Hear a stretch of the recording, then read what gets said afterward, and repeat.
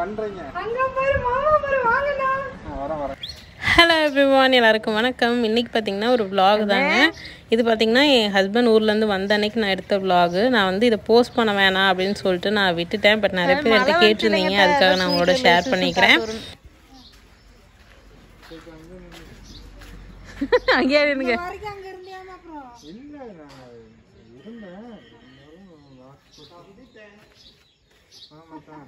ஏ அப்படியே குஜராதா எருமை மாடு.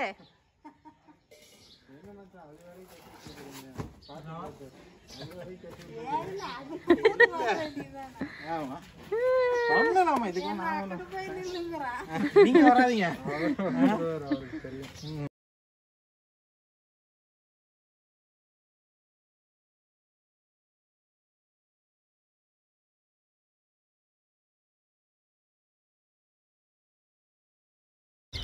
அவருக்காக நான் என்னென்ன குக் பண்ணியிருந்தேன் நாங்கள் வந்து எப்படி அவரை ரிசீவ் பண்ணோம் அப்படின்னு தான் உங்களோட ஷேர் பண்ணிக்க போகிறேன் வாங்க வீடியோக்குள்ளே போகலாம். வீடியோக்குள்ளே போகிறதுக்கு முன்னாடி நீங்கள் நம்ம சேனலை ஃபஸ்ட் டைம் பார்க்குறீங்கன்னா மறக்காமல் சப்ஸ்கிரைப் பண்ணிக்கோங்க.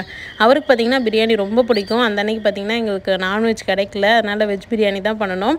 ஃபைனலாக கொஞ்சம் சிக்கன் மட்டும் கிடச்சிது. அதை வந்து நான் சிக்ஸ்டி ஃபைவ் மாதிரி பண்ணியிருக்கேன். அதையும் நான் உங்களோட ஷேர் பண்ணிக்கிறேன். பிரியாணியோட டீட்டெயில்டு ரெசிபி வந்து நம்மளோட பியாஸ் கிச்சன் சேனலில் நான் ஆல்ரெடி போஸ்ட் பண்ணியிருக்கேன். செக் பண்ணிக்கோங்க.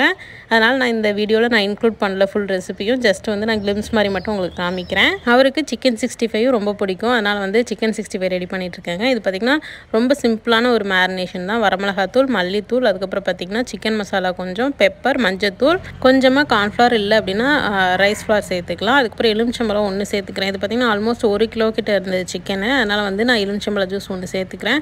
நீங்கள் தயிர் இல்லை எண்ணெய் இந்த மாதிரி கூட சேர்ப்பாங்க. பட் இது தேவையில்லை. இதுவே ரொம்ப நல்லாயிருக்கும். ரொம்ப சிம்பிள் மேரினேஷன் தான் பட் ரொம்ப நல்லாயிருக்கும்.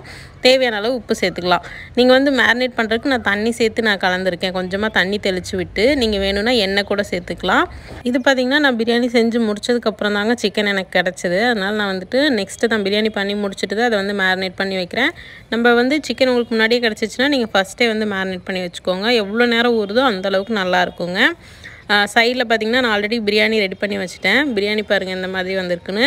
இது வந்து குக்கர் பிரியாணின்னு சொன்னால் யாருமே நம்ப மாட்டாங்க. அந்த அளவுக்கு உதிரி உதிரியாக வரும். நான் வந்து நிறைய டைம் செஞ்சு எனக்கு பழக்கமாயிருச்சு. நீங்கள் கண்ணை மூடிட்டு நீங்கள் என்ன பிரியாணி செய்ய சொன்னீங்கன்னா கூட நான் பண்ணுவேன். அந்த மாதிரி ஆயிடுச்சு. ஃபர்ஸ்ட் டைம் செய்கிறவங்கலாம் வந்து நிறைய பேர் என்கிட்ட கேட்பாங்க கொஞ்சம் குலையுது தண்ணி அதிகமாக போயிடுது என்ன பண்ணுறது அப்படின்னு சொல்லிட்டு. நான் டீட்டெயில்டு நிறைய ரெசிபிஸ் வந்து அதாவது பிரியாணிலே நிறைய வகையான பிரியாணி நான் போட்டிருக்கேன். அதை செக் பண்ணி பாருங்கள் செக் பண்ணி பார்த்துட்டு நீங்களும் ட்ரை பண்ணுங்கள் அதே மாதிரி அவருக்கு பாயாசமும் ரொம்ப பிடிக்குங்க. அதனால் நெக்ஸ்ட் வந்து பாயாசம் தான் செய்ய போகிறோம் இது பார்த்திங்கன்னா சேமியா ஜவரிசி பாயசம் பாயாசம் தான். ஜவரிசி வந்து ஃபஸ்ட்டே நான் வந்து ரோஸ்ட் பண்ணி எடுத்துட்டேன். அது வந்து ட்ரை ரோஸ்ட் தான் பண்ணணும். இந்த மாதிரி ஒயிட் கலர் பபுள்ஸ் மாதிரி வர அளவுக்கு நம்ம ட்ரை ரோஸ்ட் பண்ணணும். அதுக்கப்புறமா வந்துட்டு கொஞ்சமாக அதே பாத்திரத்தில் கொஞ்சமாக நெய் போட்டு நம்ம சேமியாக ரோஸ்ட் பண்ணி எடுத்துக்கலாம். லைட்டாக ப்ரௌனாக வர அளவுக்கு நீங்கள் ரோஸ்ட் பண்ணி எடுத்துக்கோங்க. இது பார்த்திங்கன்னா ரொம்ப சிம்பிளான ஒரு பாயசம். நான் ஆல்ரெடி ரெசிபி போட்டிருக்கேன். அதனால் வந்து இதுவும் நான் டீட்டெயில்டாக ரெசிபி வீடியோ எடுக்கலைங்க. நெக்ஸ்ட் பார்த்திங்கன்னா அவர் வந்து இது வரைக்கும் நான் செஞ்ச கேக் சாப்பிட்டதே இல்லை. ஏன்னா நான் இந்த டூ இயர்ஸில் தான் வந்து நிறைய கேக் செய் அதுக்கு முன்னாடி வரைக்கும் டிப்பிக்கல் நம்பூர் ரெசிபிஸ் தான் பண்ணுவேன். அதுக்கு முன்னாடி நான் செஞ்ச மக் கேக் நிறைய சாப்பிட்ருக்காரு சிங்கப்பூரில் இருந்தப்போ. ஸோ அதுக்காக இன்றைக்கி வந்து அவருக்கு சாக்லேட் கேக் ரெடி பண்ணியிருக்கேங்க. இது பார்த்திங்கன்னா நானும் அவரும் பார்த்து டூ இயர்ஸ் ஆச்சு ஆல்மோஸ்ட் டூ இயர்ஸ் ஆச்சு. தம்பியோட ஃபர்ஸ்ட் பர்த்டே வந்துட்டு போனாங்க. இப்போ பார்த்திங்கன்னா அவனுக்கு தேர்ட் பர்த்டே வரப்போகுது. ஸோ இப்போ தான் நாங்கள் மீட் பண்ணுறோம் சம்யுக்தா அவர் வர்றாருன்னு சொல்லிட்டு செம்ம குஷியாக கத்திகிட்டு இருக்கா. லாங் டிஸ்டன்ஸ் ரிலேஷன்ஷிப்லாம் ரொம்ப ஈஸின்னு நிறைய பேர் சொல்லுவாங்க. நீ என்னப்பா நீ இங்கே ஜாலியாக இருக்க அவர் அங்கே இருக்காருன்னு பட் அது கண்டிப்பாக உண்மை இல்லை. ரொம்பவே கஷ்டமான ஒரு ரிலேஷன்ஷிப் தான். பட் நாங்கள் ரெண்டு பேரும் அதை வந்து சக்சீட் பண்ணியிருக்கோம். ஸோ எங்களுக்கே ப்ரௌடாக தான் இருக்குது ஏன்னா டூ இயர்ஸ் ஆல்மோஸ்ட் பார்க்கல. மேரேஜ் ஆகி ஃபைவ் இயர்ஸ் ஆகுது எங்களுக்கு. ஹேண்ட் வாஷ் பண்ணிட்டு வரேன் சாமி. ஆரியன். செஞ்சோ எல்லாம் கழட்டி இங்கே வச்சு குளிக்கணும். இப்படி ரோட்லேயே குளிச்சிடுறீங்களா? எனக்கு ஒன்றும் பிரச்சனை இல்லை. நம்ம ஊர் தானே. சிங்கப்பூர் பிரச்சனை பாருங்க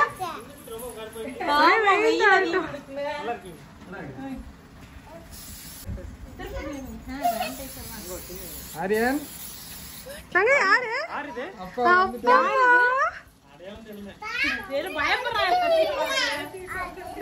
யார் டெய்லி பாக்குறேன்ல அப்படி தெரியும். யார் எனக்கு சுத்துது. அங்கே பாரு அப்பா பாரு. இங்க பாருங்க டாடி பாருங்க ஹாய் சொல்லுங்க. டாடி வெல்கம் அங்கே பாரு சாமி. டாடி வெல்கம் ஹோம் சொல்லி அங்க பாருங்க இன்னொரு ஆள் சானிடைசர் அச்சோ, சாமி குட்டி. என்னது இது? அப்படி ப்ரிப்பேர் ஆயிருக்கிறாங்க எல்லாம். ஆ மாமா கொடுத்துருங்க. ஆ ஓகே ஆ. சூப்பர் சூப்பர் சூப்பர் ஆ. சூப்பர் தங்கம். ஆரியன். போ அப்பாட்ட போ. மாஸ்க் கழட்டி மாஸ்க் கழட்டி பேச காமிங்க நான் மாஸ்க கழட்டி. அப்பதான் அவருக்கு தெரியும். இப்படி ரோட்லயே குளிச்சிடுறீங்களா? டேய். நம்ம மண்ணுக்கு வந்ததுக்கு அப்புறம் என்னையா வெக்கம்? இல்லடா. என்ன சொல்றான் பாரு. யார் இது ஆரியன் யார் இது வேணாம் வேணாம் வேணாம். அப்பா பாக்குதான் அப்பா பாரு. ஆமா நான் நல்லா கருத்து நல்லா கருத்துட்டாண்ணா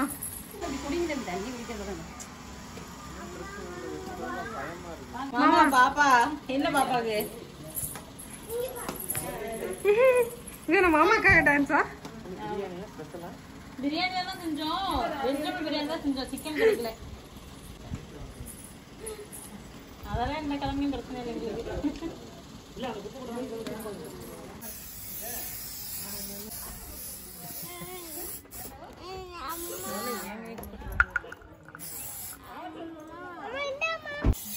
போட்டிருக்கேன் கை போடு கைக்கு போட்டிருக்கேல்ல. ஆ கை எடு எடு கைக்கு போட்டிருக்கேன்னு எடு. பாப்பா சிக்கடி. போகல போசாமி இப்போ நாங்கள் என்னென்ன செஞ்சோன்னு உங்களுக்கு காமிக்கிறேன். பாயசங்க நான் ஆல்ரெடி சொன்ன மாதிரி. பட் டீட்டெயில்டாக ரெசிபி வீடியோ எடுக்க முடியல. ஏன்னா நான் பிரியாணியும் வந்து வீடியோ எடுத்திருந்தேன் கேக்கும் வீடியோ எடுத்திருந்தேன். அதனால் எனக்கு டைம் கிடைக்கலங்க. இது சைடில் அப்படியே பண்ணிட்டேன். அதுக்கப்புறம் தயிர் வெங்காயம் பிரியாணிக்கு அதுக்கப்புறம் பார்த்திங்கன்னா அம்மா முட்டை தொக்கு செஞ்சுருந்தாங்க. ஒயிட் ரைஸ் வச்சு முட்டை தொக்கு ரசம் வச்சுருந்தாங்க அம்மா. பிரியாணி இருக்குது அதுக்கப்புறம் என்ன இருக்குன்னு காமிக்கிறேன். ஒயிட் ரைஸ் அம்மா வச்சுருந்தாங்க. ஏன்னா எப்போவுமே சாப் என்ன நம்ம சாப்பிட்டாலும் கொஞ்சம் ஒயிட் ரைஸ் வச்சு ரசம் வச்சு சாப்பிட்டா தான் கொஞ்சம் ஃபுல் ஃபில்டாக இருக்கும். வந்தாரு. ஸோ கொஞ்ச நேரம் கழிச்சு ரெஃப்ரெஷ் ஆனதுக்கப்புறமா சிக்கன் ஃப்ரை பண்ணிக்கலான்னு. அதுக்கப்புறம் கேக் மட்டும் பேக் பண்ணி வச்சுருக்கேன். ஆல்ரெடி சொன்ன மாதிரி. இன்னும் வந்து ஃப்ராஸ்டிங் பண்ணலங்க. ஃபைனலாக தான் ஃப்ராஸ்டிங் பண்ணணும். அவர் வந்ததுக்கப்புறம் தான் பண்ணுற மாதிரி ஆயிடுச்சு. ஏன்னா வீடியோ எடுத்துகிட்டே சமைச்சோன்னா எப்போவுமே லேட் ஆயிரும். நிறைய பேர் என்கிட்ட கேட்பாங்க என்ன குக்கிங் வீடியோஸ் தானே போடுற? நீ சமைக்கும்போது அப்படியே வீடியோ எடுத்துடலாம் அப்படின்னு. பட் என்னென்னா நம்ம குக் பண்ணும்போது எனக்கு இப்போ பிரியாணி யூஸ்வலாக பண்ணுறதுக்கு டுவெண்ட்டி மினிட்ஸ் ஆகுது அப்படின்னா நான் வந்து வீடியோ எடுத்தேன்னா எனக்கு ஃபார்ட்டி ஃபார்ட்டி ஃபைவ் மினிட்ஸ் ஆகும். ஏன்னா நான் ஒவ்வொரு இன்க்ரீடியன்ட் போடுறதுக்கு முன்னாடி நான் செக் பண்ணணும். கேமரா ஆனில் இருக்கா? பொசிஷன் கரெக்டாக இருக்கா? லைட்டிங் கரெக்டாக இருக்கான்னு. ஸோ அந்த மாதிரி தான் ஒர்க் ஆகும் வீடியோ எடுக்கிறது. இப்போ பார்த்தீங்கன்னா நான் ஃப்ரை பண்ணிகிட்டு இருக்கேன். அப்படியே சைடில் வந்து ஃப்ராஸ்டிங் பண்ண போகிறேங்க ரொம்பவே சிம்பிளான ஒரு சாக்லேட் கனாஷ் தான் பண்ண போகிறேன் நம்மளோட கேக் வந்து சூப்பராக ரெடி ஆயிடுச்சு. இது பார்த்திங்கன்னா ஒன்றும் பெருசாக டிசைன் பண்ணல. அப்படியே வந்துட்டு சாக்லேட் கனாஷ் வந்து போட்டுட்டேன். ஆக்சுவலாக இது பார்த்தீங்கன்னா ஃப்ரீசரில் வச்ச மாதிரி செட் ஆயிடுச்சு கூலிங் வந்து அதிகமாக வச்சு விட்ருச்சுங்க எங்கள் வீட்டு குட்டீஸுங்க. அதனால் இதாகி இந்த பவுலே வந்து உடஞ்சிருச்சு. நான் வந்து பீட் பண்ணும்போது. அதனால் இவ்வளோ தான் பண்ண முடியும் இந்த இதில் அப்படின்னு சொல்லிட்டு பண்ணியாச்சு. எனிவே பார்க்க நல்லா தான் இருக்குது ஓகே ஃபர்ஸ்ட் டைம் என் ஹஸ்பண்ட் வந்து நான் செஞ்ச கேக்கை சாப்பிட போகிறாரு இது வரைக்கும் செஞ்சு கொடுத்ததில்ல. இன்றைக்கி கொடுக்க போகிறோம் ஒரு ரியாக்ஷனை வந்து அப்படியே லைவாக கேப்சர் பண்ண போகிறோம் ஓகே வந்து சிக்கனும் ஃப்ரை ஆகிட்டு இருக்கு போய் சாப்பாடு போட வேண்டியது தான் எங்கள் மம்மியும் அண்ணியும் வந்து இந்த ஹாட்டலில் வச்சு அவனும் நடம் பிடிக்கிறாங்க. நான் வேண்டான்னு சொல்கிறேன் கேட்க மாட்டேன்றாங்க. ஸோ பார்ப்போம் ஓகே இப்போ வந்து சர்வ் பண்ண போகிறோம் புது மாப்பிள்ளைக்கு. அதுக்கு மேலே தெரியாது. எங்க வீட்லயே எங்க அம்மா என்னை கழுவி ஊத்துவாங்க. எனக்கு எந்த சாங்ஸுமே தெரியாது. லிட்ரலி ஒரு லைன் இல்ல ரெண்டு லைன் தான் தெரியும். அதே வந்து எங்க அண்ணி வந்து பழைய காலத்து அவங்க பிறக்கறதுக்கு முன்னாடி இருக்க பாட்டு கூட பாடுவாங்க. என்னடா பண்றீங்க? கேஷ்யூஸ் தேடுறீங்களா? நிறையவே போட்டிருக்கேன்டா. அப்படியே போடுங்கடா. பரவாயில்லடா. இந்த ஒன்று வந்துருக்கு அப்படியெல்லாம் பொறிக்கலாம் போட்டால் நாளைக்கு தான் போட முடியும். அப்படியே போட்டு விடுங்க. Okay. Next chicken gravy first இது side dish first okay raita raita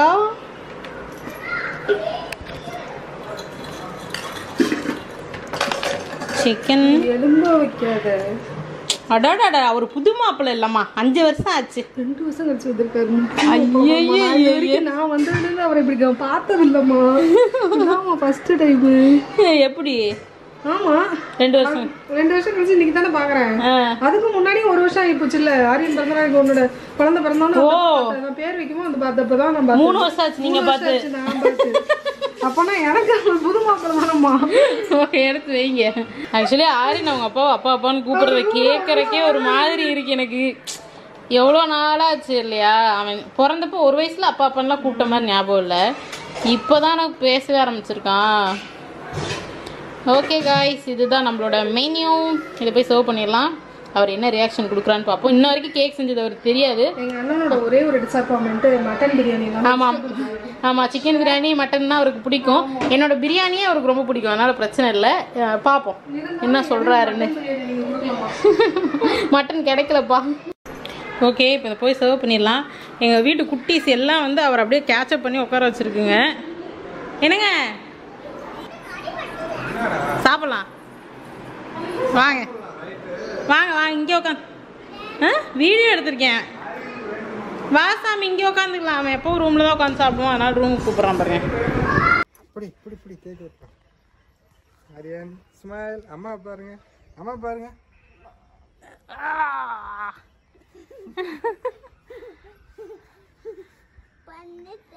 பண்ணிட்டேன்.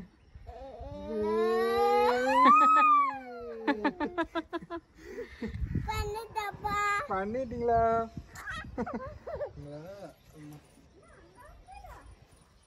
இந்தா தேங்க்யூ கீழே கரண்ட் லைன் மேலே வந்து கட் பண்ணிட்டோம். பாப்பா ரெண்டு பேர் தூங்கிட்டாங்க. தம்பி மட்டும் தான் முழிச்சிருக்கான் பார்த்தீங்கன்னா லேஸ் எவ்வளோ அழகாக வந்திருக்கு பாருங்க. சூப்பர் சாஃப்டாக இருக்குது சிம்பிளான ஒரு சாக்லேட் கனாஷ் பண்ணிங்க அப்படின்னா இந்த மாதிரி ஈஸியாக வீட்டிலேயே செஞ்சிடலாம். ஓகே காய்ஸ் இன்னையோட vlog முடிஞ்சிருச்சு உங்கள் எல்லாரையும் இன்னொரு இன்ட்ரெஸ்டிங்கான vlogல சந்திக்கிறேன். Until then bye bye take care நீங்கள் நம்ம சேனலை சப்ஸ்கிரைப் பண்ண பார்த்துட்டீங்கன்னா சப்ஸ்கிரைப் பண்ணிக்கோங்க. பாபாய் டேக் கேர் அம்மா. இப்போ பார்த்தீங்கன்னா எங்கள் மாமியார் வீட்டுக்கு தாங்க வந்திருக்கோம். முன்னாடி இருக்கிறது எங்கள் மாமியார் வீடு. அந்த பக்கம் தான் நம்ம வீடு கட்டிட்டு இருக்கோம். ஸோ எங்கள் அத்தையோட ரியாக்ஷனை வந்து லைவாக கேப்சர் பண்ணலான்னு தான் வந்திருக்கோம். அவங்களுக்கு அவ்வளோ சந்தோஷம் இவர் வந்ததில். கண்ணே.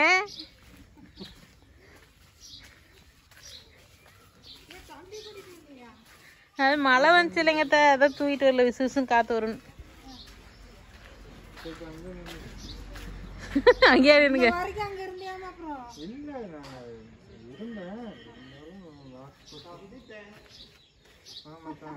ஏ அப்படியே குஜராதா எருமை மாடு.